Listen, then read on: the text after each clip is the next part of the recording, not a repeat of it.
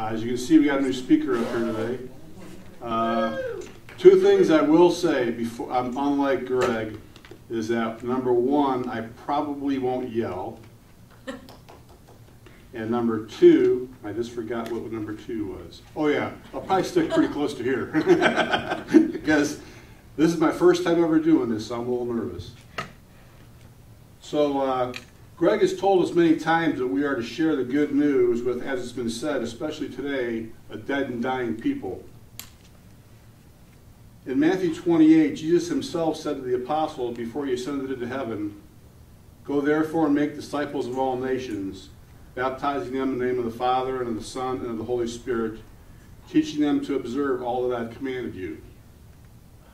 So how do we do, as Jesus said, make disciples of all nations? Well, before I share that with you, the how, I want to share with you the why. I'm sure you realize the world is crazy and getting crazier every day. So why is that? I'll explain in a moment.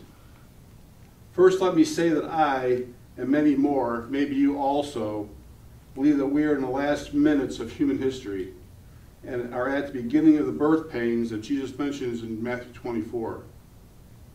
Now, bear in mind that minutes may be years, because Peter told us to not, not to overlook this one fact that with the Lord, one day is a thousand years, and a thousand years is one day. For a little fun with math, a thousand years is one day means that in God's time, there are roughly 41.7 years per hour and 8.3 months per minute. For a little more fun, at the beginning of 2017, the Bulletin of Atomic Scientists announced in its annual report that a doomsday clock is two and a half minutes until midnight. Therefore, using Peter's logic, could it be that we're less than two years away from Armageddon? But I digress. Let's go back to why the world is crazier and getting crazier all the time and the birth pains that Jesus mentions. To expand on what I said earlier, in Matthew 24, Jesus said that in the end times there will be, there'll be many signs that will be the beginning of the birth pains. In the interest of time, I will not mention the signs, but as a Berean, you can easily look them up. So birth or labor pains can be briefly, briefly described as such. Although it's not unusual to experience periodic irregular contractions as labor nears, contractions that occur at intervals of less than 10 minutes usually indicate that labor has begun. The beginning of labor is described in three phases. The latent phase is the longest and least intense. During this phase, contractions become more frequent. In the active phase, the intense, intense pain or pressure may be felt during each contraction. During transition, the birthing process is ready to begin, and contractions are very strong, painful, and frequent. Doesn't it appear to you that the craziness of the world, say in the last 20 or 30 years, started out slowly, with the events not being that intense, have become more frequent, and recently become very strong, painful, and more frequent? Hence the birth pains.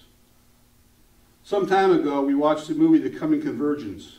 In that movie, we were shown the converging signs that point to the soon rapture of the church, Jesus' return, and Daniel's 70th week, that many call the tribulation. And I believe that what I'm about to share confirms that. And that leads us into the why we need to make disciples of all nations. It's imperative that we get, get right or are right with the Lord, share the good news through our testimony, and look up because our redemption draws near. we are seeing a rapid and intensifying convergence of signs that point to the nearness of Daniel's 70th week. And if Daniel's 70th week is near, if you believe as I do, that means the rapture of the church is that much nearer. So what are the major signs of this increasingly rapid and intensifying convergence? I'm glad you asked. I'm going to tell you.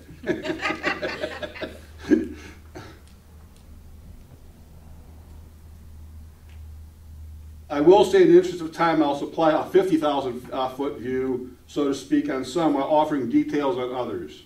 I might also add that I stopped reviewing news stories. This is really interesting. I stopped reviewing news stories as of last Tuesday because there's just so much out there. It's, it just becomes overwhelming and it's, it's, you just can't keep up with it. So the convergence of signs. The first sign is the Jewish people. On November 29, 1947, The United Nations General Assembly passed a resolution calling for Palestine to be partitioned between Arabs and Jews, allowing for the formation of the Jewish state of Israel. On May 15, 1948, in Tel Aviv, Jewish Agency Chairman David Ben Gurion proclaimed the state of Israel, establishing the first Jewish state in 2,000 years. That's a really big sign. Uh, I, I, don't know if any of you have ever heard the lesson of the fig tree. In Matthew 24, 32 through 34, from the fig tree, learn its lesson. As soon as its branch becomes tender and puts its, out its leaves, you know that summer is near at the very gates. Like I said, 1948 marked the establishment of the first Jewish state in 2,000, 2,000 years, and the state of Israel is known as the fig tree nation. Get a drink of water here.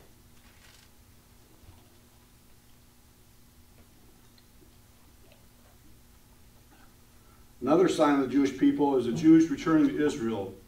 Hundreds, perhaps thousands of Bible passages predict the return of Israel to the land of Palestine. Here are only two. Ezekiel 20, 34, I'll bring you from the nations and gather you from the countries where you've been scattered, with a mighty hand and an outstretched arm and with outpoured wrath. Isaiah 11, 11 through 12.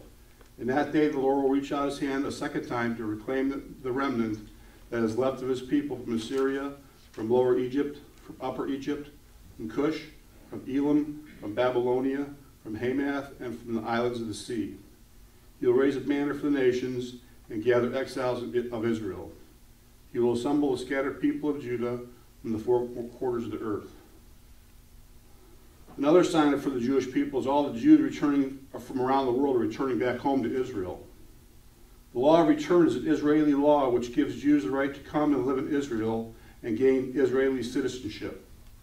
The al, al, aliyah, aliyah numbers, with aliyah meaning immigration of Jews from outside ancient Israel, have increased rapidly over the past few years and due to wars and increasing anti-Semitic aggression around the world. Jews have immigrated from Ukraine, France, England, Belarus, Russia, the Baltic countries of Latvia, Lithuania, and Estonia, Uzbekistan, India, China, and others. So the Jews are back in their land after 2,000 years, and even more are returning annually. The next sign is modern technology.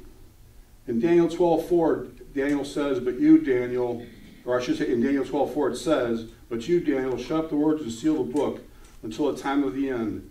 Many run, shall run to and fro, and knowledge shall increase. One of the first signs of modern technology is artificial intelligence. These are just some headlines I've, I've come across within the last few weeks.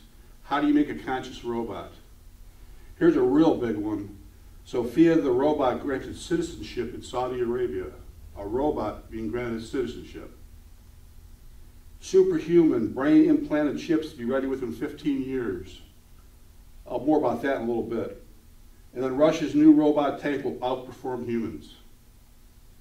Another thing that came up recently was Bill Gates' plan to build 25,000 acre smart city in Arizona.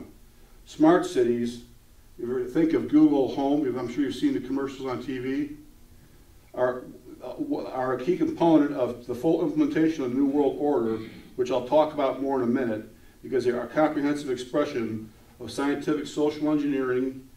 Technologies pioneered by Gates will quickly weave their way into other existing cities. Another sign is worldwide upheaval. Wars and threats of wars. That's it's said right there in, in uh, Matthew 24. Jesus says that himself. Uh, first one is U.S. North Korea. I'm sure everybody's reading about that in the headlines. Well, on November 11, 2017, three U.S. Navy aircraft carriers joined South Korea forces to begin joint naval exercises in the waters of the, North, of Korean Peninsula, Peninsula in a show of force against North Korea. U.S. Iran, that's another big one in the news. October 13, 2017, President Trump refused to certify that Iran is keeping the nuclear treaty that it signed. He also laid out a case for declaring war on Iran and giving Congress 60 days to decide what to do. Congress can change things by taking action against Iran, imposing sanctions, etc. But if Congress doesn't act as commander in chief, Trump can do what he thinks needs to be done. This is extremely significant in light of the fact that Israel and the Arabs want the U.S. to halt Iran's nuclear weapons program Israel wants the Arabs to recognize Israel's right to exist as a Jewish nation. The Arabs want Israel to help the U.S. halt Iran's nuclear weapons program. And Trump wants Israel and the Arabs to sign a peace treaty. I'm sorry. And Trump wants Israel and the Arabs to sign a peace treaty bring, that brings that to mind. And on, in Daniel 9.27 it says, He shall make a strong covenant with many for a week. Another one is Saudi Arabia and Iran. I don't know if you saw this headline. On November 6, Saudi Arabia calls a missile launch on Riyadh an act of war by Iran, vows retaliation. Israel and Iran. On April 5, 2017, the headline read, This is the reason Israel will attack soon. Israel knows what the rest of the Western world is afraid to admit. Iran is not the first nation that wanted to wipe out the Jews and take over the world, otherwise known as Sharia law. If Israel doesn't defend herself and the world, who will? Iran establishes a military base just 35 miles from Israel in Syria from the, Israel, from the Israeli border. According to the BBC, citing Western intelligence sources, Iran has established a permanent military base outside of El Kishwa, eight miles south of Damascus, and some 35 miles north of Israel's border in Syria. And of course, you all read about the worldwide terrorist attacks all the time. U.S., Paris, London, etc. Did you know that there have been 1,039 attacks and almost 7,000 fatalities up until November 10th of this year? Just that. And then, I don't know if you've heard about the bubonic plague coming back. That's a disease that killed 25 million people in Europe alone in the Middle Ages. And just, the headline just recently was on, in the news. But behold, a black horse. Airborne black death, death epidemic could explode. The rise of falsehood is the next sign. Well, the biggest sign, one of the biggest signs of falsehood right now is the global warming agenda. According to NASA's own data, remote, I'm sorry, according to NASA's own data, the world is warmed a mere 0.36 degrees Fahrenheit since they started measuring the data in 1979. Hardly anything to panic about, however, however this does mean the world is warmer, right? Well, the problem with that argument is that we experienced the bulk of that warming between 1979 and 1998. Since then, we've actually been ha having temperatures drop. We haven't seen any global warming in 19 years. Weakening the global warming argument is data showing that the North Polar ice cap is increasing in size. Recent satellite images from NASA actually reflect increased 43% to 63%. This is quite opposite of what the global warming faction warned us. In 2007, while accepting a Nobel Prize for his global warming initiative, Al Gore made a striking prediction. The North Polar ice cap is falling off a cliff. This is in 2007, remember. It could be completely gone in summer in as little as seven years. That means in 2014, the polar ice cap, according to him, was supposed to be gone. Sounds like a lie to me.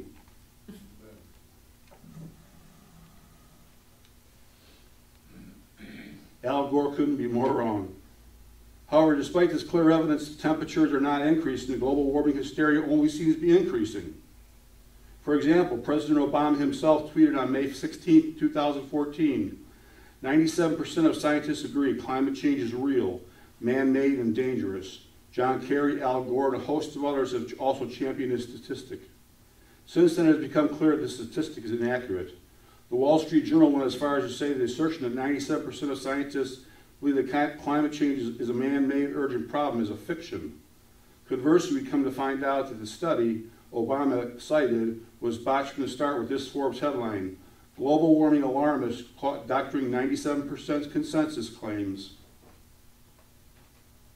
A host of other problems for the global warming crowd are emerging, such as leaked emails from global warming scientists that state the Earth is not warming evidenced by this one that states, the fact is that we can't account for the lack of global warming at the moment, and it's a travesty we can't. Proof is emerging that Al Gore and even President Obama have financially benefited from fueling the global warming hysteria.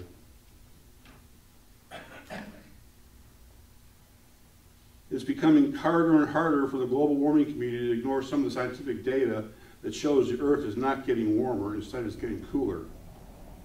What makes one wonder Why are we spending $22 billion a year on global warming initiatives, and where is the money going? Fake news, I know you hear that about, about that all the time. I don't know if you ever heard this. This, this, this made headlines probably about, I would say about six months ago. It, it, it was a real big thing, and also you heard nothing of it ever since then. And this, just hear what this says. Project Veritas catches CNN producer on tape admitting that Trump-Russia narrative is fake. And yet they continue saying this, that, that's, that's, it's, it's happened, it's, it's true.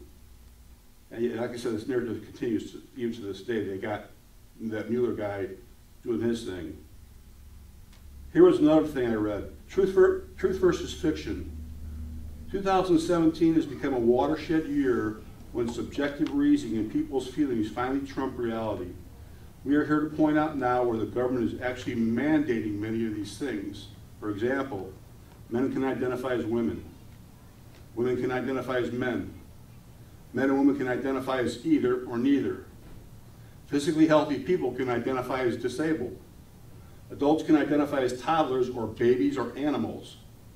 Babies are no longer human. Human overpopulation is the world's second greatest problem. The world's first great problem, whether anyone admits it or not, is Israel exists again. Borders and walls are bad. Unchecked immigration is good. Islam equals peace. Christianity equals hate. The American Constitution no longer matters. Socialism is in. Capitalism is now fascism.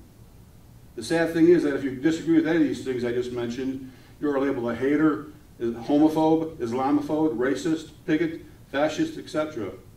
While this is troubling, stranger things are than that are even on the horizon. The rise of wickedness is another sign. The FDA recently approved the first digital pill for behavior modification. Health, healthcare enters a new phase of treatment. I'm sorry, healthcare enters a new phase as treatment is delivered by enforceable drug regimens. Physicians will be mandated to use digital drugs or face censure or dismissal. Physicians are already subject to evidence-based medicine where treatments are mandated from above with penalties for noncompliance. LBG, L, LGB, LGBT transgenderism, kids as young as four are referred to reassignment experts as 50 kids a week visit their general practitioners about gender a shocked Georgia mom launches a complaint against her daughter's school after a sixth grade class was given a quiz that asked them to identify their sexual identity. The rise of Satanism, I don't know if you saw this or not. An after school Satan club may be coming to your kids' elementary school. I've actually seen this in, uh, advertised. Planned Parenthood encourages black women in America to choose abortion over pregnancy. These are, these are actual headlines. Federal court rules making prostitution legal in California. HIV positive people who knowingly expose others won't be charged with a felony in California. Gay shop owner kicks Christmas out of his, Christians out of his business because his belief, their beliefs offend him. The rise of apostasy is next. Some, some uh, recent headlines. Chaos in the church non-binary deacons, drag shows, and trans transgender baptisms. Christian pastors say practicing homosexuality, gay marriage, transgenderism, etc. is okay. Feel-good itching ears religion with the likes of Joel Osteen, Rick Warren, Brian McLaren, Carl Lentz, Rob Bell, and others. I'm sorry if I offend anybody by that, but that's the truth. Next is the one world religion. The rise of universalism. Does anybody know what universalism means? It's all paths lead to God. The rise of ecumenism, joining Catholicism, Protestants, Protestants, Protestants, Protestants, and Islam. And then Kenneth Copeland just recently declared the end of the Reformation, and he calls, he calls for the end of it. On October 24, 2017, listen to this. Kenneth Copeland held an ecumenical meeting in Kansas City, Missouri, with Pope Francis watching by video. Listen to this. Copeland claimed to be God's anointed prophet and claimed to have the power of God to bring fire from heaven to burn the stubble. presenting a veiled threat to all churches who do not get in step with the ecumenical movement. Copeland leads the way for anti-Protestant Reformation propaganda that born-again believers should reunite with the apostate Roman Catholic Church under Pope Francis. They are staging counterfeit new, new apostolic reformation in an attempt to destroy the true church. Next is the one world government. I'm sure you've heard of the New World Order or globalism. The global, globalist magazine, The Economist, reported President Trump is a danger to the New World Order. The magazine is right. Trump's desire to make, make America great again goes against the globalist desire to surrender the sovereignty of the U.S. to the UN. I don't mind telling you that I'm wondering if God is using President Trump and the Christians in his administration to restrain the rise of the Antichrist.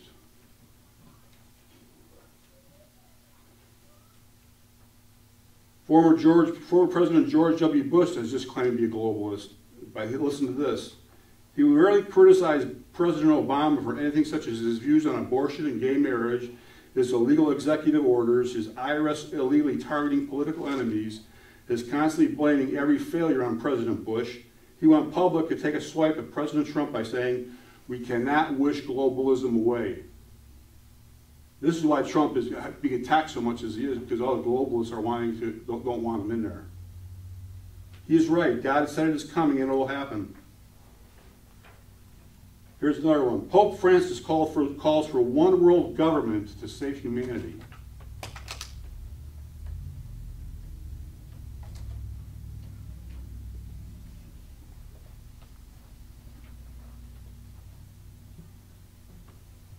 In June, Pope Francis called for a one world government, and political authority argued the creation of the one world government is needed to combat, combat major issues such as climate change. The Pope said the UN doesn't have enough power and must be granted full governmental control for the good of humanity. But what raised eyebrows is the Pope's call for a new global political authority, one tasked with tackling the reduction of pollution and the development of poor countries and regions. His appeal echoed that of his predecessor, Pope Benedict XVI, who in 2009 encyclical proposed a kind of super UN to deal with the world's economic problems and injustices. Pope Francis also called for changes in the lifestyles and energy consumption to avert the unprecedented destruction of the ecosystem before the end of the century. What happened to preaching our president, or not president, I mean Pope, the Pope, preaching the gospel and preaching the good news of Jesus Christ? He never does that, if you ever, if you ever notice that. It's always talking about social issues and things like that. The pontiff has also warned that failure to act would have grave consequences for all of us. The word globalization means exactly what it says. It is the process of transitioning the world into a global government. Religious leaders are playing their part in this great deception.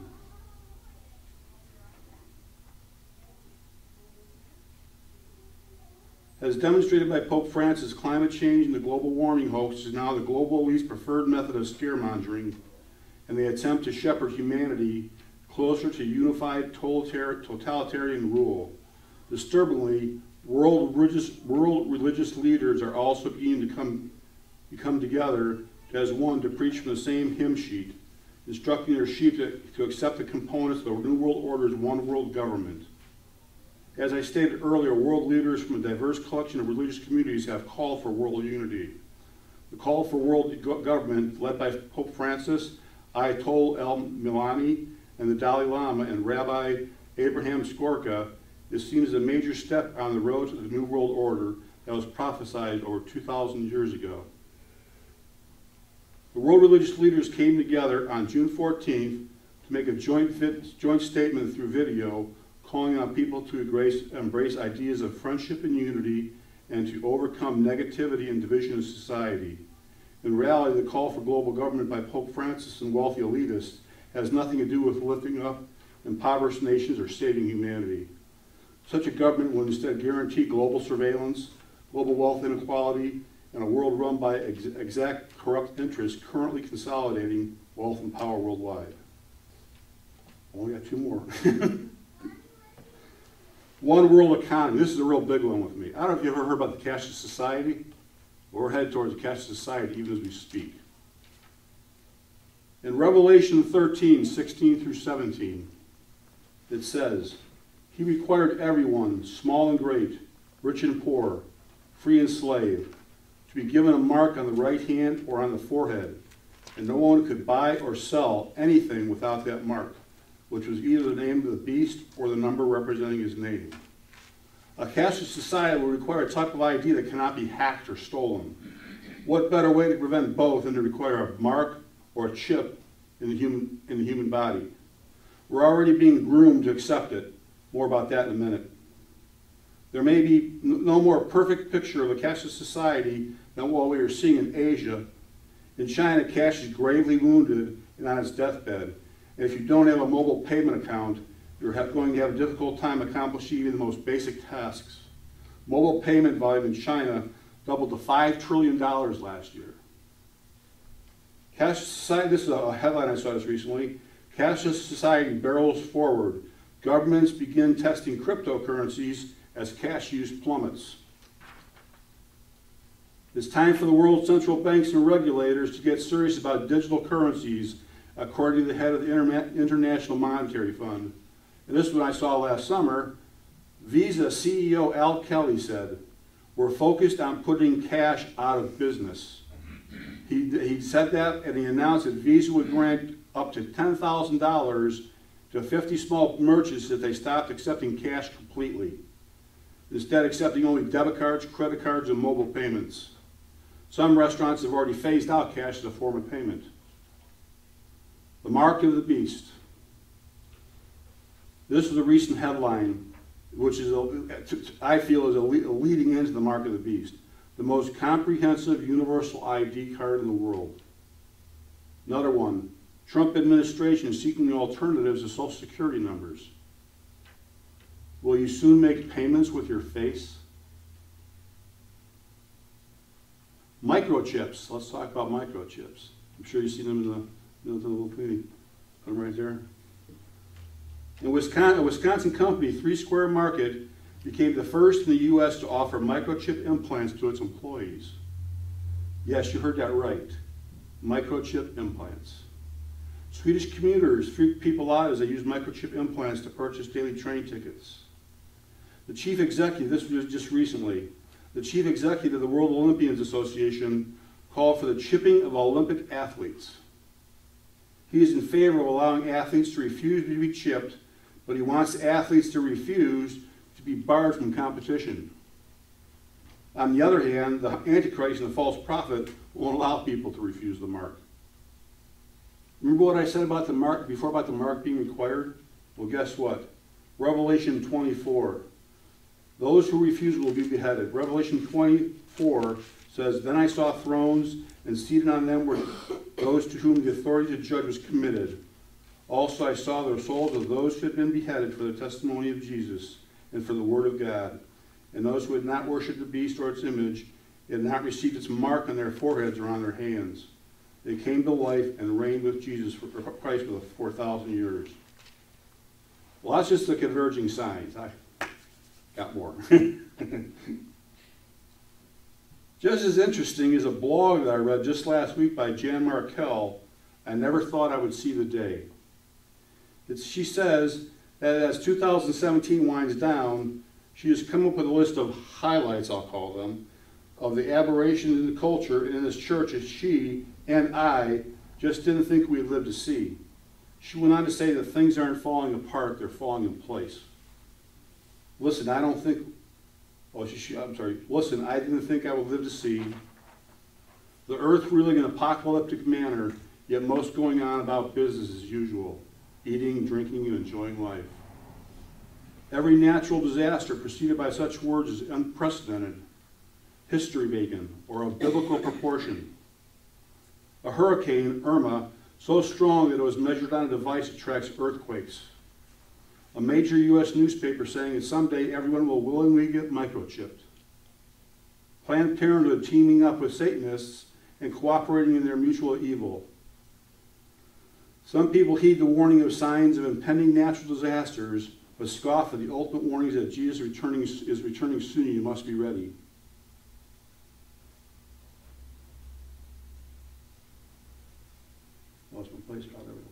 America seriously talks about the possibility of an EMP attack and Hawaii being warned of a nuclear attack by North Korea. Over 40% of Americans prefer socialism over capitalism. Actors in Central Park simulate the assassination of a U.S. president. Satanic outfits being granted IRS tax exempt status while Christians and conservatives are overlooked and ignored. A leader of the Catholic Church in South America stating that Pope Francis is paving the way for the Antichrist. A major newspaper calling Satan good and calling him a great representation of secularism. A discussion of womb transplants, womb transplants in men. Preschoolers being lectured by a demonic horned creature that transgenderism is normal. The Boy Scouts allowing girls to join their organization. Word of a revival in the Middle East countries such as Iran. World revival in North Korea. The son of a Hamas leader who is now a Christian telling the UN that Palestinian leaders are a bunch of terrorists. Rick Warren saying he hoped his partnership with the Catholic leader will become the ecumenical model for the entire world. K through 12 U.S. educators demonizing Israel and lauding Islam. A Democrat leader, Donna Brazile, blowing the whistle on Democrat party corruption. The, I mentioned earlier, the return of the bubonic plague. A prominent secular host said we live in interesting times. Too interesting. He longs to go back to the 1950s. He doesn't understand that the last days will be characterized by departure from the normal and acceleration of the aberrant. He can't grasp the fact that the Bible predicted a lot of what our headlines are today. Wow. And almost all this news is from the last few months. As Jan said, things aren't falling apart, they're falling into place. Wait, I'm not over yet. Almost. To start, I believe that Hillary, if Hillary Clinton had been elected president in 2016, that this convergence would be charging along at greater than breakneck speed. And even though it has been extremely fast since President Trump took office, not, it hasn't been as fast as the globalists want. Look at all the opposition that President Trump has gone through last year. But even so, as I stated earlier, I believe God appointed Donald Trump to win the 2016 presidential election for a reason. Let's look at some scripture. Daniel 4:17. The sentence is by the decree of the watchers, the decision by the word of the holy ones, to the end that the living may know that the Most High rules the kingdom of men and gives to whom he will. Romans 13:1. Let every person be subject to the governing authorities, for there is no authority except from God, and those that exist have been instituted by God. Now, I don't pretend to know why, uh, exactly why Donald Trump won, but my guess is it has to do with the setting of the prophetic stage. According to Scripture, when the Antichrist, the man of sin, son of perdition, the rider of the white horse, etc., arrives in the scene, he does so at an unprecedented time of crisis and upheaval. A world clamoring for peace and security doesn't do so if it already has peace and security in place. The man of sin disguises his political ambitions under the false banner of peace. Daniel 7 8. I considered the horns, and behold, there came up among came up. Was over. I need to drink water here first.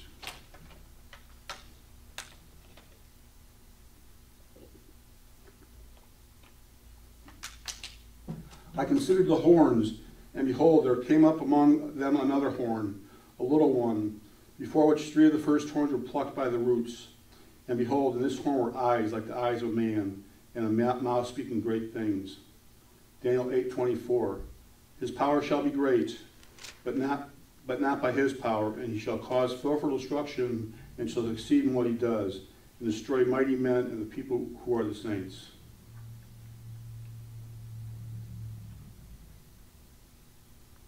But in order for there to be a global demand for peace, there first needs to be a global crisis, instability, and war. Think about it this way why do we even know the names of men like Mahatma Gandhi and Martin Luther King Jr.? Well, they were great peacemakers who rose up in a period of great injustice. If there hadn't been an injustice to begin with, they wouldn't have felt the compulsion to do something about it. But because there was a great injustice, they did rise up and their messages were heard, and it did resonate with the masses, thus propelling them into historic greatness. This is why I believe Trump, President Trump is prophetically significant. He is a leader who has watched the world moving in the wrong direction for a long time and feels compelled to do something about it.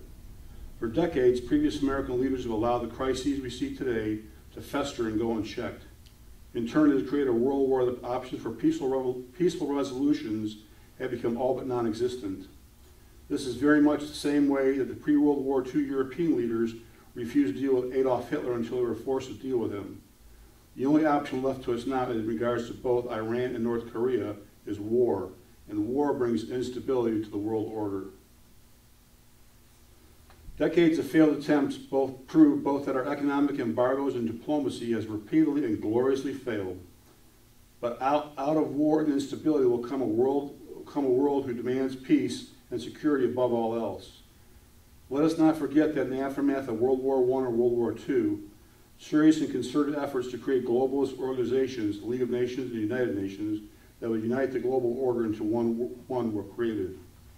After the next World War, will be uh, uh, after the next World War will be when the man of Antichrist, the man Antichrist rises up.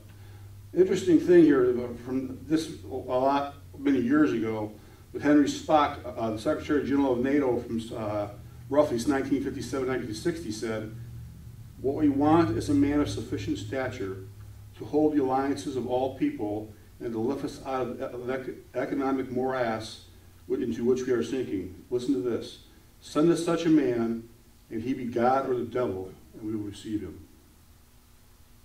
The geopolitical situation will allow the opportunity for a man such as this to rise from the political stage. Man comes on a white horse, a false peace, and will take advantage of the advancements in technology that I've spoken of, along with the supernatural backing of a satanic benefactor to impose his iron-fisted will over the entire world. He will capitalize on the moral and spiritual bankruptcy of the world that has been left behind, and what I mean by left behind, the people left behind after the rapture, to deceive them. These are, these are they who did not receive the love of the truth. The stage has been set. The actors are in place. We are about to witness now is the curtain rise and the prologue to begin.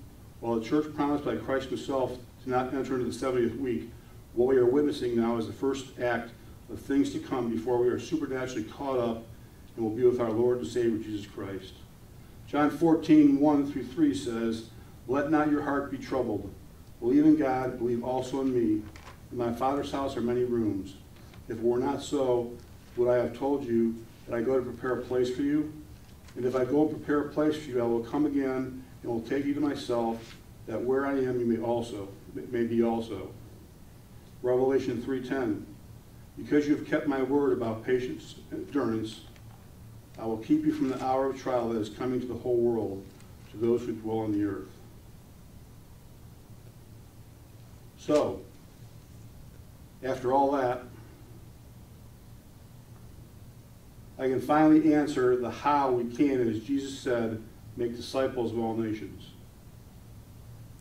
Let's pray.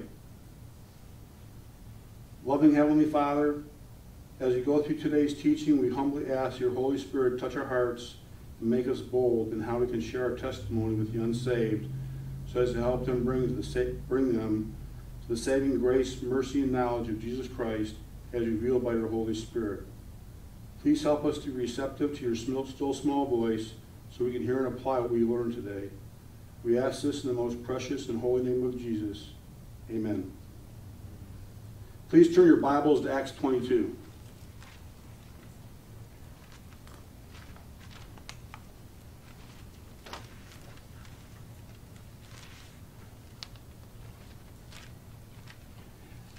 as you're turning there. As an introduction, I can speak from personal experience that, that can be difficult to share the good news, and probably like me, we usually are at a loss for words when given the chance. Before we even start, I know, here we go again, huh? I need to, we need to ask ourselves, what is the good news? Everything in life has good news and bad news associated with it. The entire landscape of biblical truth is generally found in the combination of both. Emphasizing one side to the exclusion of the other is not the whole truth. This is the same, this is true, the same is true with the gospel of Jesus Christ. First, the bad news. I'm, I mean, I'm just, I'm sure you all know this, but I just want to, want to bring it up. First, the bad news. Spiritually speaking, is what we are, is that we are all sinners deserving of hell for our sin against the holy God. Romans 3.23 says, For all have sinned and fall short of the glory of God. Result is what Romans 6.23 says, For the wages of sin is death, meaning that our sin has kept us from God's presence and eternal life. And as Romans 3.10 says, no one can earn his or her way into the presence of God because there is no one righteous, and that our best human efforts to please God are, as Isaiah 64 says, as filthy rags. That's the bad news. What's the good news? Here's a verse that many of you are familiar with, but now I'll add a little context. For God so loved the world that he gave his only Son, that whoever believes in him should not perish but have eternal life. For God did not send his Son into the world to condemn the world, but in order that the world might be saved through him. Whoever believes him is not condemned, but whoever does not believe is condemned already, because he has not believed the name of the Son of God, the only Son of God. So it can be said that God wants relationship with his human creation and has communicated with us in a variety of ways. First, there's nature. Romans 1.20 says, For his invisible attributes, namely his eternal power and his divine nature, have been clearly perceived, ever since the creation of the world and the things that have been made, so they are without excuse. The Bible, 2 Timothy 3.16 says, All scripture is breathed out by God and profitable for teaching, for reproof, for correction, and for training in righteousness. And also Jesus coming to us in human form to live among us. John 1.14 says, And the Word became flesh and dwelt among us, and we have seen his glory, glory, uh, glory as of the only Son from the Father, full of grace and truth. So the good news is that God loves us and that Jesus Christ is God's provision for the bad news of our sinful condition. Let's turn to Romans 10, 9 through 13 for the how. This, by far, is probably my most favorite verse in the whole Bible. Because if you confess with your mouth that Jesus is Lord and believe in your heart that God raised him from the dead, you will be saved. For with the heart one believes and is justified, and with the mouth one confesses and is saved. For the scripture says, Everyone who believes in him will not be put to shame. For there is no distinction between Jew and Greek. For the same Lord is Lord of all, bestowing his riches on all who call upon him. For everyone who calls in the name of the Lord will be saved. So there is no way that until someone knows and understands the bad news that they can truly appreciate the good news. You wouldn't appreciate a stranger bursting into your home and dragging you outside unless you first understood your house was on fire. If we can't make someone understand they are destined for hell because of their sin, they cannot truly appreciate what God, what Jesus did for them on the cross. If we can't make someone realize how hopeless they are, they won't recognize the great hope Jesus offers. Unless they recognize that they are sinners, they can't appreciate a Savior. How, so how can we convey the good news by also talking about the bad news? The best approach for presenting the good news is to present what the Apostle Paul called the whole counsel of God, as described in Acts 20, 27. God's whole counsel includes both the bad news about our natural state and the good news about plan, God's plan to redeem us. So now indulge me, if you will, while I set the stage so we can understand how Paul intertwined the bad news, good news approach in sharing his testimony in his attempt to make disciples of all nations, both Jew and Gentile. In Acts 21, upon the Apostle Paul's arrival in Jerusalem, he is greeted with all kinds of problems and troubles, for the Jews who really hated him. No sooner had he entered the temple when the entire city was in an uproar. A riot starts because of the rumor, a rumor that has spread about him. It's at this point that Paul is taken into protective custody, and on his way to the Antonia fortress, he has to speak to the crowd. For who's Paul, who's now on the steps of the fortress, speaks to what is virtually the entire city of Jerusalem. Surely he will speak the gospel, the good news. Well, yes and no. Paul will preach the good news, but the way he does it is by actually packaging it in the sharing of his testimony. Paul is going to rise from the scriptures and teach us how it's done. So let's read the text. Acts 21, or I'm sorry, 22.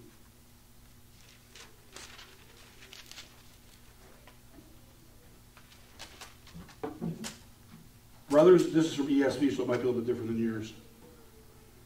Brothers and fathers, hear the defense that I now make before you. And when they heard that he was addressing them in the Hebrew language, they became even more quiet. And he said, I am a Jew, born of Tarsus in Cilicia, but brought up in this city, educated at the feet of Gamaliel, according to the strict manner of the law of our fathers, being zealous for God, as of all you are today. I persecuted this way to the death, binding and delivering to prison both men and women, as the high priest and the whole council of elders can bear me witness. From them I received letters to the brothers, and I journeyed toward Damascus to take those also who were there to, and bring them in bonds into, to Jerusalem to be punished.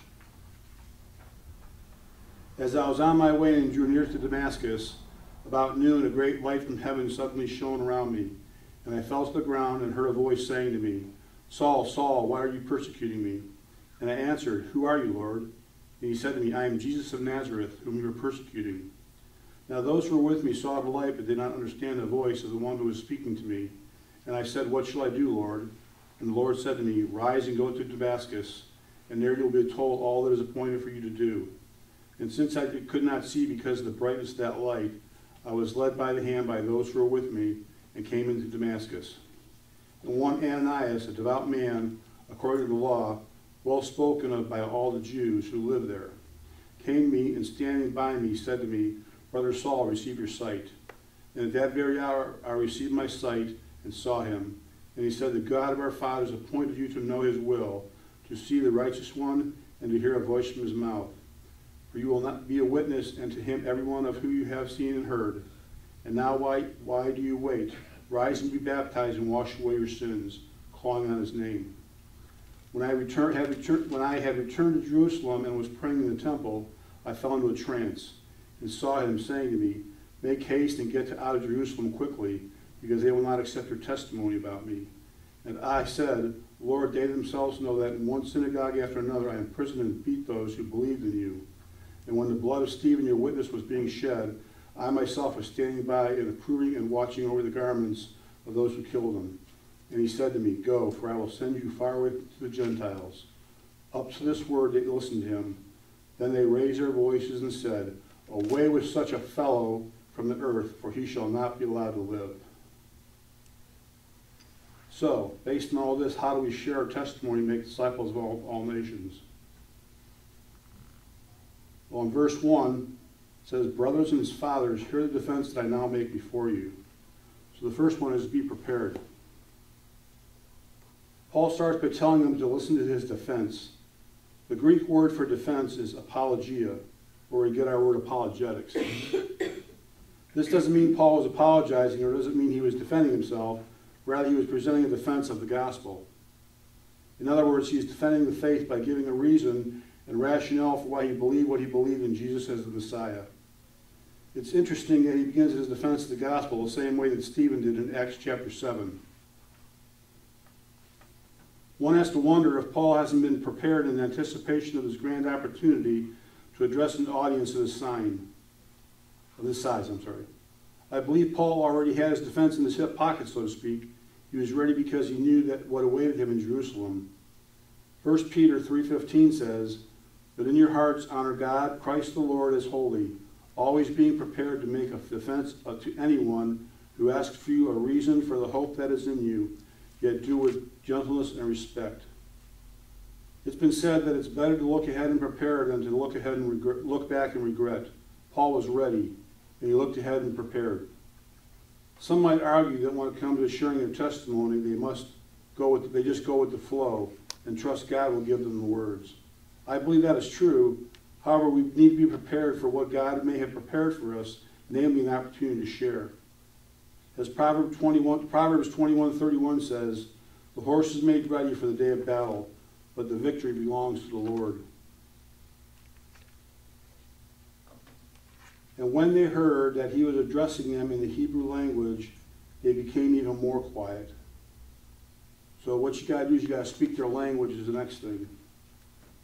Paul spoke to them in Aramaic, which is the Hebrew tongue, and the crowd started from started from uh, start having a riot to becoming very quiet. Paul could have spoke Greek, and doubtless that would have been very impressive, but he wouldn't have spoken the language of their heart. I believe it is for this reason that this rioting crowd became very quiet and listened. The apostle was speaking in a way that they understood. Whenever Paul spoke, he either made people glad, sad, or mad, but at least they knew and understood what he was saying to them. When sharing our testimony, I think we, I think we do err when we use certain Christian words. People simply don't understand what we're saying. Let me tell you a story to illustrate this point. A man bought a donkey from a preacher. The preacher told the man that this donkey had been trained in every, a very unique way, being the donkey of a preacher. The only way to make a donkey go was to say Alleluia. The only way to make a donkey stop was to say Amen. The man was pleased with his purchase and immediately got on, the, animal to try out the preacher's instructions. Alleluia, shouted the man. The donkey began to trot. Amen, shouted the man. The donkey stopped immediately. This is great, said the man. With Alleluia, he rode off very proud of his new purchase. The man traveled for a long time through some mountains. Soon he was heading toward a cliff. He could not remember the words to make the donkey stop. Stop, said the man. Halt, he cried. The donkey just kept on going. Oh no, Bible, church, please stop, shouted the man. The donkey just began to trot faster. He was getting closer and closer to the cliff edge. Finally, in desperation, the man said a prayer. Please, dear Lord, please make this donkey stop before I go off the edge of this mountain. In Jesus' name, amen. The donkey came to an abrupt stop. Amazing. Just one step from the edge of the cliff. Hallelujah, shouted the man.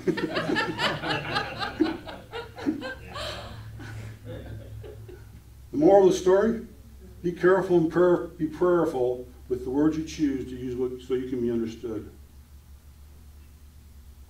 I am a Jew born in Tarsus of Cilicia, Cilicia, but brought up in this city. So what we need to do next is find common ground with people when we're sharing our testimony. Paul purposely informs them that he is a Jew and that he was born in Tarsus of Cilicia and that he was brought up in Jerusalem. Paul being born in Tarsus made him a Hellenist Jew, and for him being brought up in Jerusalem gave him a Hebrew background. In other words, Paul could have said could have had something in common with and could relate to the Greek, the Hellenist Jews, and the Hebrews as well. He does this because he wants them to know that he is one of them. Paul is establishing a common ground for which to work with. To work with. Paul knows his next, his most powerful defense in his testimony. They can argue with his theology and his typology, but not with his testimony. Educated at the feet of Gamaliel, according to the stricter manner of the law and our fathers, of our fathers, being zealous for God, as all of you are to this day excuse me, to this day. I have persecuted this way to the death, binding and delivering into prison both men and women, as the high priest, the whole council of elders can bear me witness. From them I received letters to the brothers, and I journeyed toward Damascus to take those who were, who were there and bring them in bonds to Jerusalem and be punished. So the next thing we need to do is earn their respect. Paul tells us how he was trained by Gamaliel, one of the first, most respected rabbis in Hebrew history, and he, has, he, he was as zealous as they are. In fact, he was so zealous that he used to persecute, imprison, and even kill those who were followers of the way as Christians. He says that the high priest and council could testify how he took letters to Damascus to bring Christians to Jerusalem and stand trial. For Paul to tell them this was absolutely brilliant. By doing this, he's, he's disarming their hostilities and earning their respect at the same time. He allies himself to both of the Jewish factions in the crowd and by cleverly associating himself with Gamaliel, who was a disciple of Hillel. In so doing, he is earning their respect as a man schooled in the law, the rabbinic interpretation of the law, and a zeal for the law. As I was on my way and drew near, drew near to Damascus about noon, a great light from heaven suddenly shone on me. And I fell to the ground and heard a voice saying to me, Saul, Saul, why are you persecuting me? And I answered, Who are you, Lord? And he said to me, I am Jesus of Nazareth, whom you are persecuting. Now those who were with me saw the light, but did not understand the voice of the man who was speaking to me. So the next thing we need to do is turn on the light. What I just read you uh, from uh, verses 6 through 9 is also further described in Acts 1, I'm sorry, Acts 9, 1 through 9. But Saul, still breathing threats and murders and murder against the disciples of the Lord, went to the high priest and asked him for letters to the synagogues at Damascus, so that if he found any belonging to the way, men or women, he might bring them bound to Jerusalem. Now as he went on his way, he approached Damascus, and suddenly a light from heaven shone around him. And falling to the ground, he heard a voice saying to him, Saul, Saul, why are you persecuting me? And he said, Who are you, Lord? And he said, I am Jesus whom you are persecuting. Arise and enter the city, and you will be told what you are to do. The men who were traveling with him stood speechless, hearing the voice but seeing no one. Saul arose from the ground, and although his eyes were open, he saw nothing. So they led him by the hand and brought him to Damascus, and for three days he was without sight and neither ate nor drank nor drank.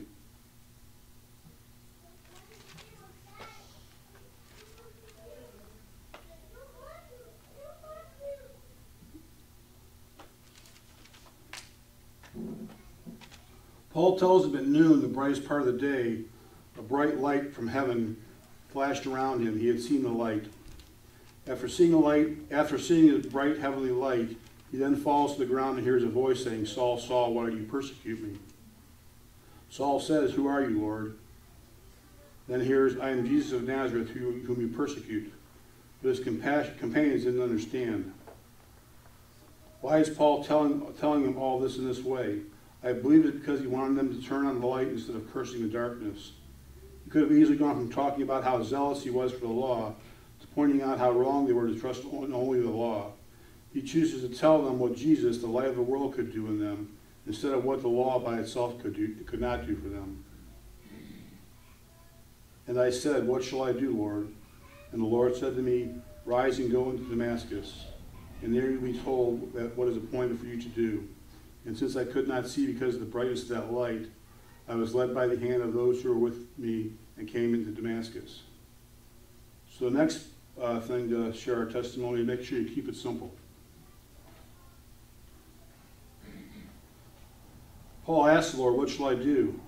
Jesus answers him by telling him to simply go to Damascus where he would be told what to do. His companions had to lead him by the hand to Damascus because he was blinded by the brightness and brilliance of the light. I sort of imagine him being held by his hand like a child walking to Damascus with a simple and humble childlike faith in the Lord. What's so interesting about this is that when he's asked, What shall I do, Lord? Jesus doesn't give him a complicated to do list. Paul just keeps on keeping his testimony very simple by not complicating with a bunch of to do and telling them how childlike simple it really is. The next thing we need to do is include the miraculous. And one, Ananias, a devout man according to the law, well spoken of by all the Jews who lived there, came to me and standing by me he said to me, Brother Saul, receive your sight. And at that very hour I received my sight and saw him. Paul tells them about Ananias, who was a devout observer of the law, and was also highly respected by all the Jews in the area. He tells of how he received his sight when Ananias, who was standing beside him, said to him, Brother Saul, receive your sight. Paul beautifully includes this, includes in this his sharing of his testimony, how this was in fact made a miracle in the supernatural, not just an act in the natural. One commentator says it this way The last thing Saul had seen was the face of the Christ. The next thing he saw was the face of a Christian. He had seen the head, now he saw a member of the body. Suffice it to say that when we go from death to life, a new birth, in, a new birth, and go from spiritual blindness to seeing the light, that's called a miracle. And he said, The God of our fathers appointed you to know his will, to see the righteous one, and to hear a voice from his mouth, for you will be a witness for him to everyone of what you have seen and heard. And now, why, why do you wait? Rise and be baptized and wash away your sins, calling on his name. Shades of uh, Romans 10. So the next thing we need to do is highlight God's forgiveness till we uh, provide our testimony to. Paul then says, God, the God of their fathers has chosen him to know God, which will, which is, I'm sorry. Paul then says, the God of our fathers has chosen him to know God's will, which is to see the righteous one and hear his words. He tells them he is to be a witness to all men, referring to both Jews and the Gentiles of what he has heard, seen and heard. Paul tells Ananias then how Ananias then asked what he's waiting for and how he should get up, be baptized, and have his sins washed away by calling on the Lord. It's important to know that the forgiveness for what for the what it's important to know that the forgiveness for and washing away of sin does not come from water baptism, but from calling on Jesus' name. When baptism is preceded by repentance and is attended by a believing, calling on the name of the Lord, it becomes a beautiful emblem of what that washing away of sins, which is graciously given to all believers. Paul told his own conversion, for he well knew what God often, that God often blesses such personal confessions. Charles Spurgeon said that. Paul's emphasis here is not about water baptism as much as about calling on Jesus' name to be forgiven and cleansed from sin. If the Apostle Paul had chosen not to not communicate and highlight this, he would have in effect gutted out the good news of the gospel. So too is this true for us. If the good news of God's forgiveness is gutted out of our lives, then sin will have dominion over our lives. If I've been the recipient of God's forgiveness and cleansing for my sin, then sin no longer has permission to control or dominate me. This is the good news, and that's why Paul includes it and even highlights it when he tells them that he was forgiven for all his past sins. Paul not only tells them that he's forgiven and cleansed for all the sins, he also tells them how to be forgiven and cleansed from sin. The how is simply this it's in the calling upon and confessing to the Lord that the forgiveness for and cleansing come from the Lord. In other words, when sin, sin remains unconfessed, then sin remains unforgiven and uncleansed, and I will remain under sin's dominion. So it's important that you uh, confess your sins. So that what I'm about to say to you may be one of the most, if not most powerful, life-freeing and life-giving truths of the entire Bible. Listen up. Here it is. God has made us and wired us from the need for, with the need to confess our sin in order for there to be releasing and freeing from our sin. We don't need to confess to God so he knows. We need to confess to God that we know. When we do, we free ourselves from sin's grip. Let's look at this a little deeper.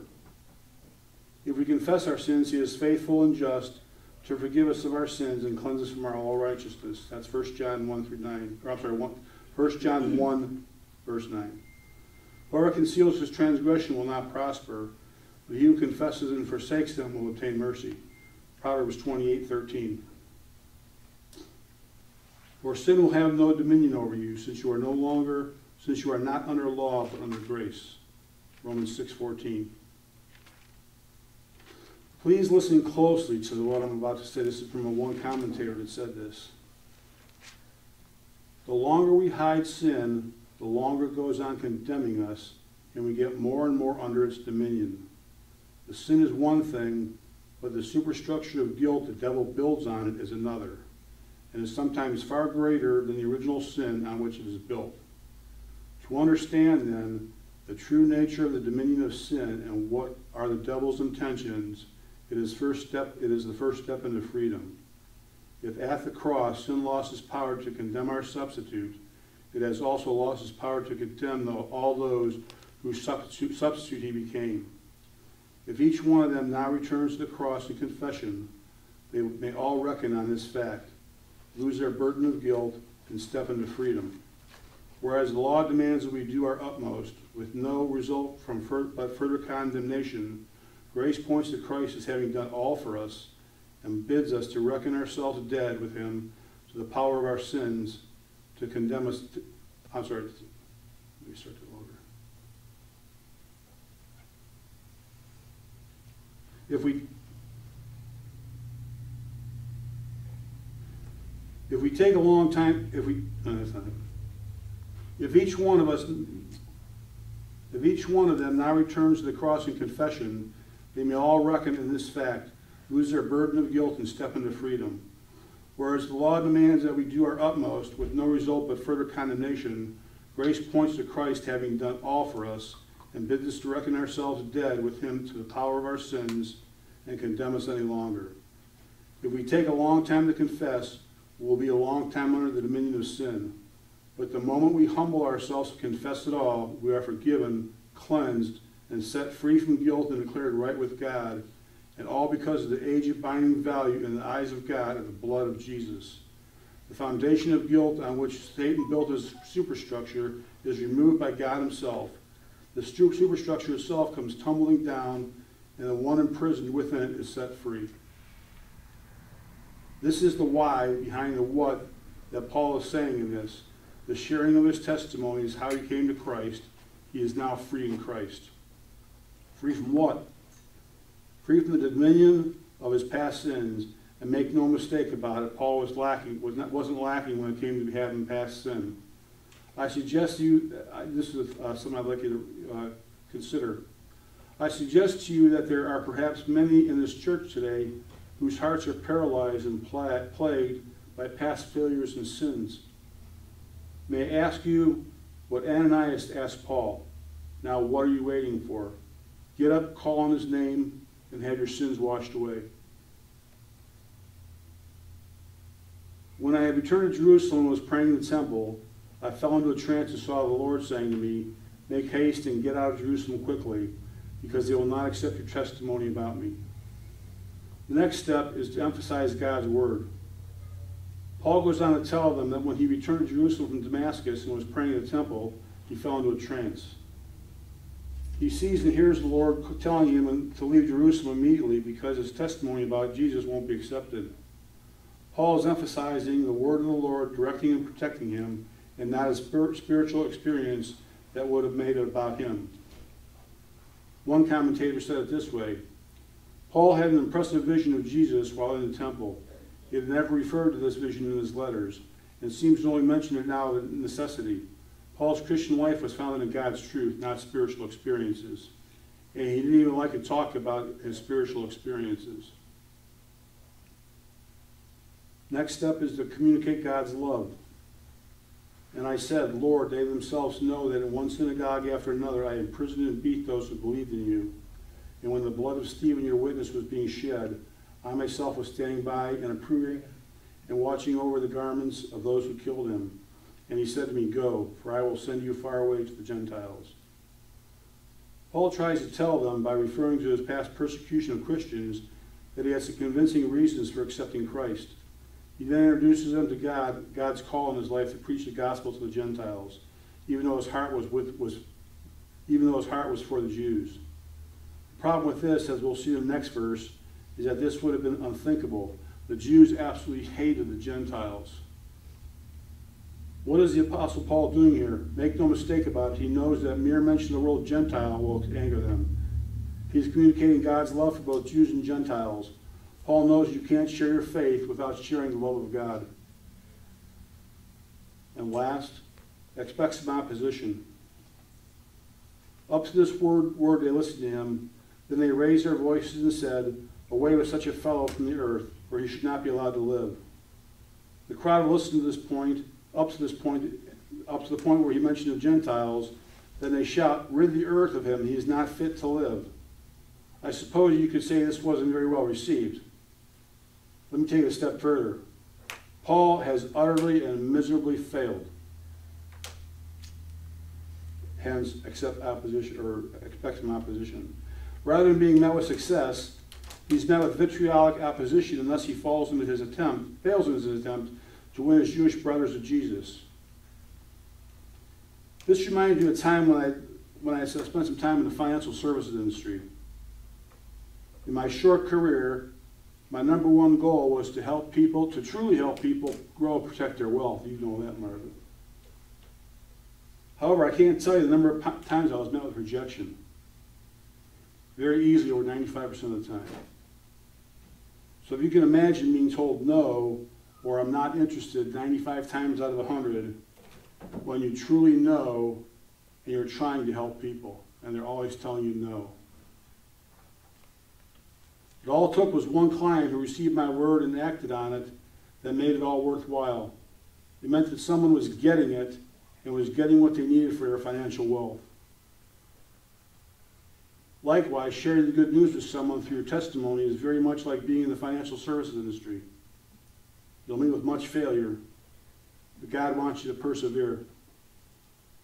As Luke says, just so I tell you, there will be no joy in heaven over one sinner who repents and over 99 righteous persons who need no repentance. So all it takes is that one person who will receive the word and act on it that will make heaven shout with joy from that someone getting it and getting right with God, all to the eternal benefit of their body, soul, and spirit. Let's pray.